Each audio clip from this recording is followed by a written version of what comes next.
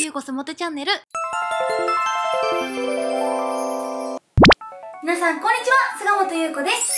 はい。今回は季節は夏ということで浴衣にぴったりな浴衣メイクの紹介をしていきたいと思います。それでは浴衣にぴったり浴衣メイクのスタートはいあらかじめベースと眉はしてありますベースはツヤっぽく仕上げるためにリキッドファンデーションを塗っています。眉はペンシルとパウダーと眉マスカラでふんわり仕上げてます。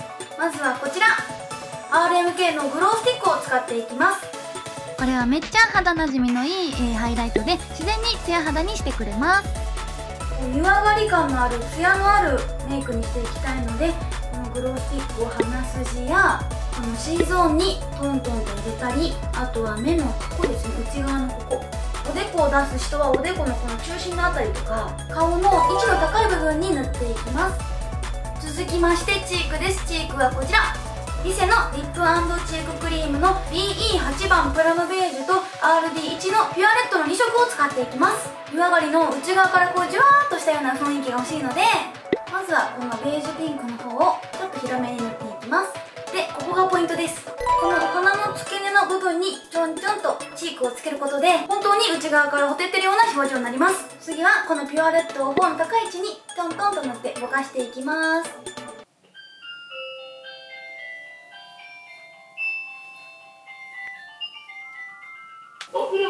はい内側から蒸気したようなチークに仕上がったんですがこのままだとちょっとこうツヤツヤしすぎてると汗かいてるようにちょっと見えちゃうのでパウダーを軽くふんわりとつけていきます。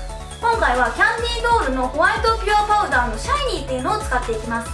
こういうね付属のパフが入ってるんですけどパフでねこう仕上げちゃうとちょっとこうマットな肌になっちゃうのでちょっとこの粉を蓋に出して大きめのブラシでこう取ってふんわりと軽くつけていきます。こっちの方がすごく薄付きになるので。ブラシで全体的にふんわりとつけていきます。この粉はシャイニーっていうだけあって軽くラメが入っていてキラキラしているので夜のお祭りの時とかすごくキラキラして可愛くなりますよ。でもパウダーをつけすぎちゃうとせっかくの湯上がり感がなくなっちゃうので本当にここは軽くつけていきましょう。続いてはアイメイク。まずはアイシャドウです、えー、今回はこの3つを使っていきます。実際に塗ってみるとこんな感じです。でねさっきとね並んだ順番は一緒です。キャンメイクのアイシャドウは左下の赤のカラーです。まずは普段から毎日塗ってるジルスチュアートのジェリーアイカラーの02番ゴールドライトを塗っていきます。次にダズショップの紫のジェルのアイシャドウをアイホールの中央にちょんとのせていきます。紫のラメカラーが浴衣に合って可愛いんです。続いてキャンメイクの赤を下まつげの隙間を埋めるように入れていきます。続きましてマスカラとラインはこちらの2つ。最近の一押しです。まずアイライナーですがこちらのカラーはブラックブラウンでとても自然です。まつげの隙間を埋めるように入れていきます。そしてマスカラは黒もともとのまつげの色で自然にしましょう。これはウォータープルーフでにじみませんよ。お祭りで目立つキラキラ華やかだけど上品なアイメイクの完成です。続きましてリップです。リップはこちらの2色を使ってグラデリップにしていきます。湯上がりのほてった感じにグラデリップはぴったりなんですよ。浴衣にめっちゃ合う。まずは 3C の濃い赤を唇の中央のみにちょんちょんと塗っていきます。そして指でポンポンと外側に向かってしっかりとぼかしておきましょう。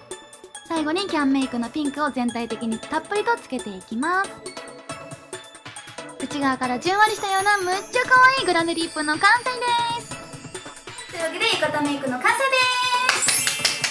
それではまた次の動画でお会いしましょう。バイバイ。